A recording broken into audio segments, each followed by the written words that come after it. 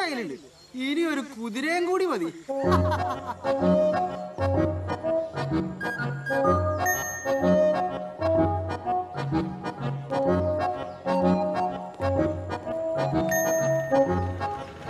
Okay, see you. You dance really well. You too. Hmm. Bye. Bye. ചേട്ടാ ഒരു നാരങ്ങ soda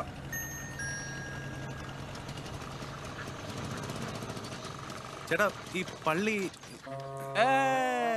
പുത്തൻകുടിയിലെ Thomas സാറിന്റെ മകനല്ലയോ? അമേരിക്കയിലെ ബോംബായിൽ നിന്നും വന്ന. എങ്ങനെ മനസ്സിലായി? തോമസ് സാറിന്റെ മുറിച്ച മുറിയല്ലയോ? എനിക്കറിയാൻ മേലെ.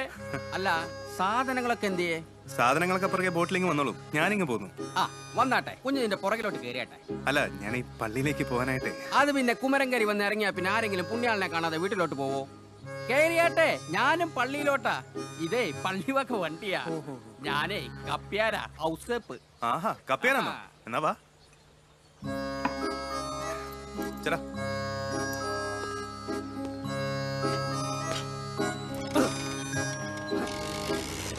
കപ്പ്യാരേ ഇത് വെള്ളിയച്ഛന് കൊടുത്തയക്കണം. കളോപ്പിളി ചാച്ചപ്പ തന്നതാണെന്ന് പറഞ്ഞാച്ചാ മതി. എന്നതാ കാര്യം?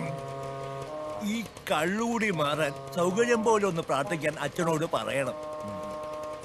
പെട്ടെന്ന് പ്രാർത്ഥിക്കണമെന്നില്ല സൗകര്യം പോലെ പ്രാർത്ഥിച്ചാൽ മതി.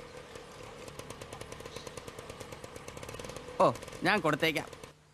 എന്നാൽ ഈ മീൻ പള്ളിക്കുശിനിയിലേക്കല്ല കപ്പ്യാരുടെ വീട്ടിലെ അടുക്കളയിലേക്കും അവിടെ നിന്ന് അദ്ദേഹത്തിന്റെ തന്നെ ആമാശയത്തിലേക്കുമാണ് ഇനി യാത്ര ചെയ്യുക. ആമേൻ. മോനെ ഒന്ന് പിടിച്ചേ.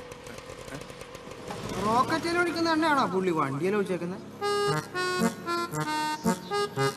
ഇനി ബെന്നിക്കുഞ്ഞ് കുമരങ്കിരി കുറച്ച് സ്ഥലമൊക്കെ വാങ്ങി നല്ല തങ്കക്കുടം പോലെ ഒരു പെണ്ണിനെ ഒക്കെ കെട്ടി ഇവിടെ തന്നെ അങ്ങ് കൂടണം. ഒക്കെ ഞാൻ ശരിയാക്കി തരാതെ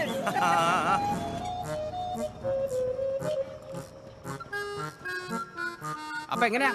നല്ല പെങ്കൊച്ചുങ്ങളെ എമ്പടി ഉണ്ട് കുമരങ്കരിയിൽ. ഒന്നിനെ അങ്ങ് ആലോചിക്കട്ടെ. അല്ല കപ്പിയാരെ നമ്മുടെ സഭയിൽ ഇപ്പം അച്ഛന്മാർക്ക് പെണ്ണൊക്കെ കെട്ടാവോ? അതെന്നാ കുഞ്ഞു അങ്ങനെ ചോദിച്ചേ?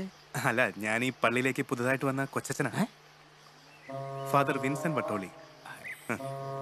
ഈശോമിശേക്ക്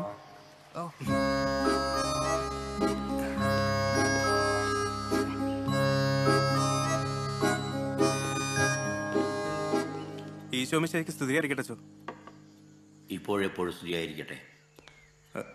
ഞാനിവിടെ പുതുതായിട്ട് വന്ന കൊച്ചച്ഛനാ വിൻസെന്റ് വട്ടോളി. അയ്യോ ഉള്ളതാ അച്ഛൻ പുതുതായിട്ട് ചാർജ് എടുക്കാൻ വന്നതാ. ഞാൻ ഫാദർ ഇരുന്നിടംകുഴി ജോസഫ് ഇരുന്നിടംകുഴി. ആറ്റുവാശ്ശേരിയുടെ വകുപ്പള്ളി വികാരി എന്റെ കുഞ്ഞമ്മയുടെ മോനാ. ഫാദർ കിടന്നിടംകുളം. അതേന്ന്. അല്ലെന്ന് വരുന്ന അറിയിപ്പൊന്നും കിട്ടിയില്ലായിരുന്നല്ലോ. പെട്ടെന്ന് പോരേണ്ടി വന്നു. ഓ. അച്ഛനീ ലോഹ എവിടുന്നാ തയ്പ്പിച്ചത്? ഇത് തയ്പ്പിച്ചതല്ല റെഡിമെയ്ഡാ പാൻസും ഷർട്ടും എന്തോ? പാൻസും ഷർട്ടും ആ. ലോഹയുടെ നേരം കിട്ടിയില്ലായിരിക്കും. അല്ലച്ചോ തിരുകർമ്മങ്ങൾ ചെയ്യുമ്പോൾ മാത്രം ലോഹ ഇട്ടാ പോരെ? എനിക്ക് ഇതൊക്കെ ഇട്ടങ്ങ് ശീലമായി പോയി അല്ലാത്ത സമയത്ത് ഇങ്ങനത്തെ ഡ്രസ്സൊക്കെ ആയിരുന്നെങ്കിൽ ഞാൻ കുറച്ചുകൂടെ കംഫർട്ടബിൾ ആയെന്ന് എന്ത്? കംഫർട്ടബിൾ ആ. മാത്രമല്ല എപ്പോഴും ലോഹ ഇടണമെന്ന് നമ്മുടെ സഭ പറഞ്ഞിട്ടുണ്ടോ യാത്ര ചെയ്ത് ക്ഷീണിച്ചു വന്നല്ലേ രണ്ട് മുട്ടയും പഴം കഴിച്ചോ? കഴിച്ചോ? നോ താങ്ക്സ് ആ വേണ്ട. വേണ്ടെങ്കിൽ വേണ്ട. ഒരു വൈദികൻ യേശുവിന്റെ പ്രതിപുരുഷനാണെന്നാണ് ഞാൻ പഠിച്ചിട്ടുള്ളത്. യേശുവിന്റെ പ്രതിപുരുഷൻ പാൻസ് ഷർട്ടും ധരിക്കുന്നത് കുറച്ച് കടന്ന കയ്യല്ലേ വട്ടോളി. ഞാൻ വികാരിയായിട്ടിരിക്കുന്ന ഇടവകയിൽ പുറത്ത് ശീലങ്ങളൊന്നും വേണ്ട. അല്ലാതെ തന്നെ ഈ ഇടവകയിൽ ആവശ്യത്തിലേറെ വിപ്ലവകാരികളുണ്ട്. ഇനി വിപ്ലവകാരിയായ ഒരു അച്ഛനെ കൂടി താങ്ങാൻ ഈ ഇടവകയ്ക്കാവില്ല. അതുകൊണ്ട് ഈ പള്ളിയിൽ കൊച്ചച്ഛനായിട്ടിരിക്കണമെങ്കിൽ ഈ കുപ്പായൊക്കെ മാറ്റി പള്ളി അച്ഛന്മാർക്കുള്ള ലോഹ എടുത്തിട്. ശരി അല്ല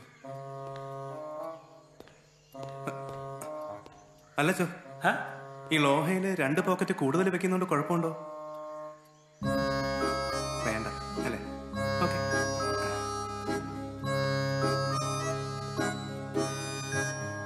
നാളെ കാലത്ത് വട്ടോളിയുടെ ആദ്യത്തെ കുർബാനയല്ലേ? ഞാനൊന്ന് കാണട്ടെ മിടുക്ക്. I'm sorry.